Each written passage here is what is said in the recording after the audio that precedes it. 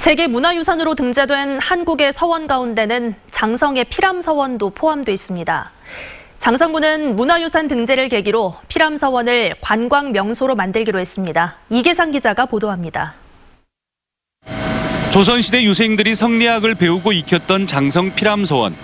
서원의 출입구인 확연루와 학문을 토론하는 강당인 청절당이 옛 모습 그대로 간직되고 있습니다.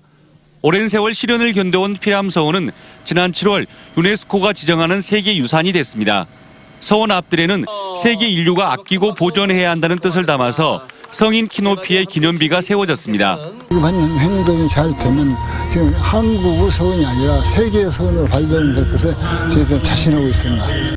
유네스코 세계유산으로 등재된 한국의 서원은 피람 서원을 비롯해 경북 영주 소수서원과 안동 도산서원, 전북 정읍 무성서원 등 모두 9곳입니다.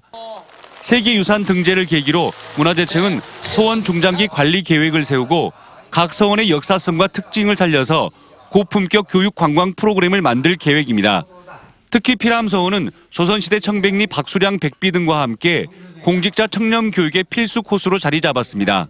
국내 아홉 개 서원을 함께 묶어서 외국인도 많이 찾을 수 있는 우리 세계적 그 보편적 가치를 공유할 수 있도록 노력을 하겠습니다.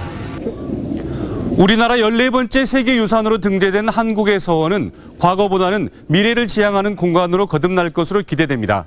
MBC 뉴스 이계상입니다.